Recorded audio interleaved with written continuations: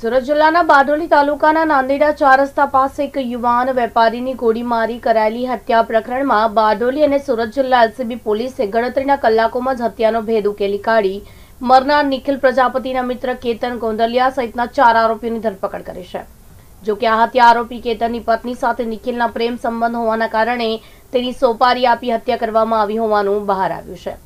બારડોલીના હનુમાન ફળિયા વિસ્તારમાં રહેતા નાંદીડા ચોરસ્તા પાસે શ્રીરામ ક્લાસ નામની દુકાન ધરાવતા નિખિલ પ્રજાપતિની બાઇક ઉપર આવેલા ત્રણેય સમયે ગોરી મારી હત્યા કરી નાખી. નાસી છૂટ્યાની ફરિયાદ બારડોલી પોલીસ મથકે નોંધાઈ હતી.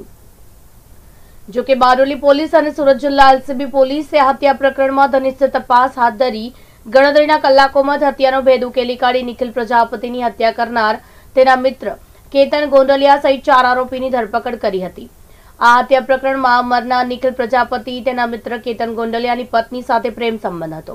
જેના કારણે કેતન ગોંડલિયા અને તેની પત્નીને છૂટાછેડા આપતા નિખિલ પ્રજાપતિ સાથે જ રહેતી હતી. ત્યારે બીજી તરફ નિખિલ પ્રજાપતિએ પણ તેની પત્નીને છૂટાછેડા આપી દીધા હતા. આમ મિત્રતામાં પોતાની સાથે દગો કરી પત્નીને પ્રેમજાળમાં ફસાવી તેની સાથે સંસાર શરૂ કરનાર કેતન ગોંડલિયાએ રૂપિયા બે લાખમાં નિખિલ પ્રજાપતિની હત્યા કરવાની સોપારી પલસાણાના અંત્રોલી ગામ ખાતે રહેતા માથાભારે સાગર રાઠોડને આપી હતી. જેમાં સાગર રાઠોડ, તેના સાગીરથ વિશાલ રાઠોડ, બાદલ રાઠોડ તથા હિતેશ વાઘરી નામના ચારે સમૂહને ગડેલ કાવતરા મુજબ નાંદીડા ચોકડી પાસે નિખિલ પ્રજાપતિ ઉપર ફાયરિંગ કરી તેને હત્યા કરી નાખી હતી.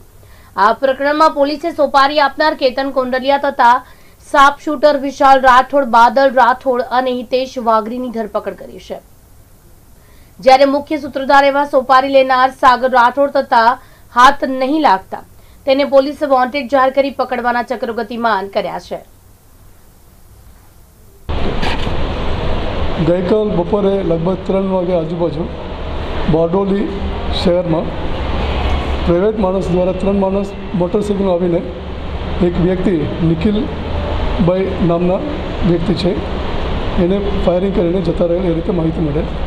તાત્કાલિક સ્થાનિક પોલીસ અને રેન્જ દ્વારા નાકાબંધી કરી અન્ય તપાસના કાર્યોએ હાથ ધરવામાં આવેલ હતા એ દરમિયાન મેં અને એસપી બંને બોર્ડરની વિઝિટ કરી સગદોરાની પૂછપરછ કરવામાં આવે, ત્યારબાદ સ્થાનિક એલસીબી અને એસઓજીને યોગ્ય સૂચના આપવામાં આવે.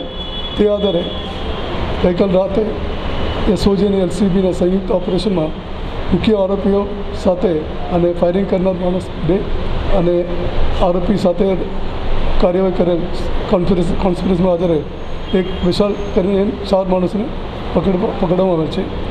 એમાં મૂળ એ છે, મુખ્ય આરોપી છે, કેતન ગોંડલિયા. એને ચંદન પટેલ નામના મહિલા સાથે દો હજાર ચૌદથી શાદી કરી એ સાથે ત્યાં રહેતા હતા.